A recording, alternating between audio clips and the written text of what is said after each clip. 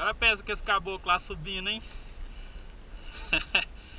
Tem muito chão ainda pra ele sofrer.